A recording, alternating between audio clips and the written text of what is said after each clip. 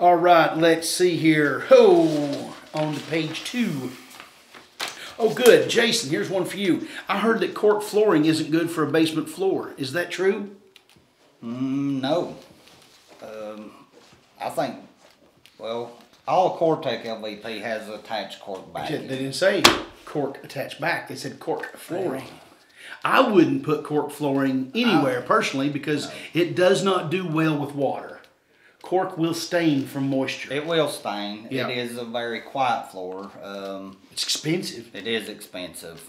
Um, so if it's just plain cork they're talking about, I'd say no. Yeah, I wouldn't put it in the basement. It'd be hard to keep up. Yeah, why would you want to? You know, you know we, we talked about what to use in a basement. Um, not really sure why you would put cork down there.